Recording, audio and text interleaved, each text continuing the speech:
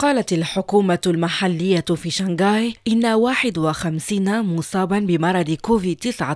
توفوا في المدينة في الرابع والعشرين أبريل ارتفاعا من 39 في اليوم السابق وسجلت شنغهاي المركز المالي والتجاري في الصين 16983 إصابة محلية جديدة بفيروس كورونا بدون أعراض انخفاضا من 19657 50 في اليوم السابق وأظهرت بيانات رسمية أن إجمالي عدد الحالات الجديدة التي ظهرت عليها أعراض بلغ 2472 ارتفاعا من 1401 في اليوم السابق وتكافح شنغهاي حاليا أكبر تفشي على الإطلاق لكوفيد 19 في الصين وقد سبق أن قامت السلطات التي تكافح هذا التفشي حواجز من الشباك المعدنية أمام بعض المباني السكنية مما أثار غضبا عاما جديدا بشأن إجراءات الإغلاق التي أجبرت الكثير من سكان المدينة البالغ عددهم 25 مليونا على البقاء في منازلهم